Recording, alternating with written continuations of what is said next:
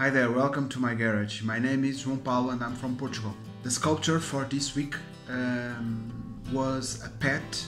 We are talking about uh, a cat. So this sculpture was uh, uh, an order for a friend and I decided to share the video anyway. So as usual, we have a, a full time lapse from scratch to the final result of this beautiful cat sculpture, okay? If you want to buy some of my sculptures, you can go to my uh, Etsy.com online shop.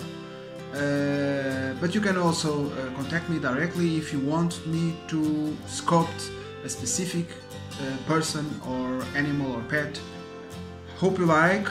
Uh, don't forget to hit the subscribe button and turn on the notifications bell. That's all for now. Okay, be safe, um, and I'll see you soon next Friday for another video and another sculpture.